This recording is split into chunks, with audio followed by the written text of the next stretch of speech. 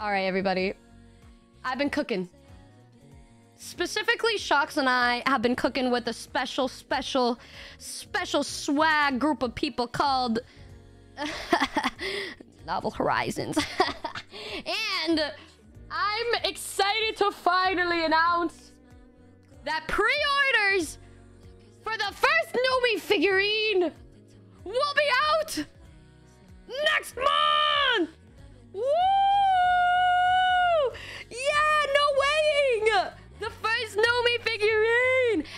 Gonna be a bunny girl Numi. And I'm gonna be real with y'all. I was the one that decided the uh, the expression and the outfit and everything, and it's it pretty.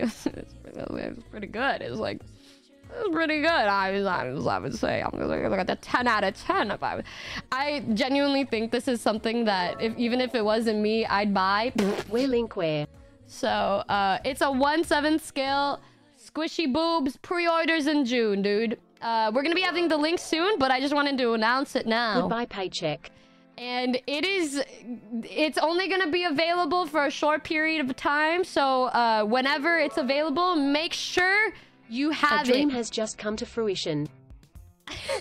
Um, if you want to put it in a jar, I don't know how I feel about that. I'm just kidding. Do whatever you want, but uh, I- the jar, you know, I, I don't think I deserve all that. I'm so excited. Thank you guys for literally helping us get to this point. I wanted this was like one of my biggest goals to be for being a Next, streamer. Catatitans, and, you're you know- done. Yep, you have one seven jar already ready. Gooby, now hold on a minute. Gooby,